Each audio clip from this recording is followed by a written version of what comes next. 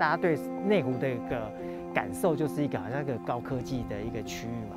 那有一这样一个生态，我想就是大家都觉得，哎，应该还蛮好奇的。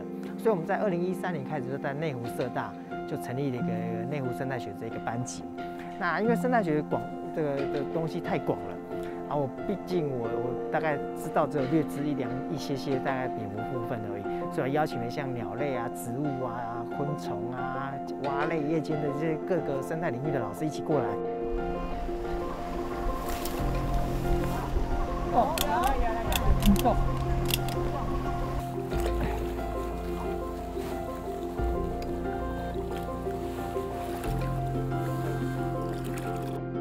在那个里面的地方的落叶堆里面，我们有捞到一只春蜓。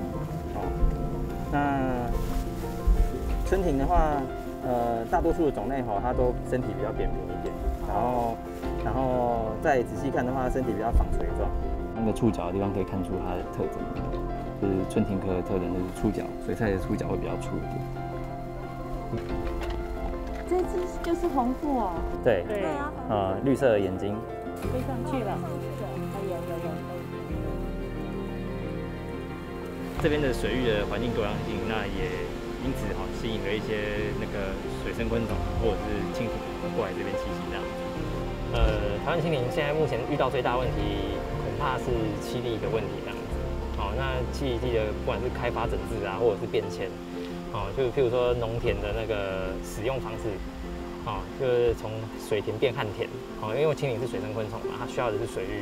那当它变成转做旱田的时候，那其实它等于说它大部分的那个空间就减少了这样子。人类到大概在六七零年代的时候开始用大量的用农药嘛，那这对水生昆虫或者对环境也造成很大的影响这样子。